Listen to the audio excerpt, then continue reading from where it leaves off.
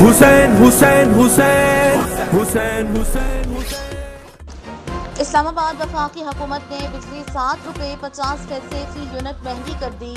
जे N news के मुताबिक वफाकी हुकूमत की तरफ़ से बिजली के बुनियादी टैरिफ में तीन से सात रुपये पचास पैसे फ़ी यूनिट इजाफा कर दिया गया है। काबीना ने सर्कुलेशन के ज़रिए बिजली महँगी करने की समरी की मंजूरी दी है। जराये के मुताबिक वफाकी हुकूमत ने बुनियादी कीमत में इजाफे की दरख्वास्त, नेपरा में दायर कर दी है। नेपरा अब वफाकी हुकूमत की दरख्वास्त पर समात के बाद फैसला देगा, जिसके बाद वफाकी हुकूमत का इजाफे का नोटिफिकेशन जारी करेगा। उन कीमतों में इजाफे का इतलाक यकम जुलाई से करने की तजवीज़ दी गई है।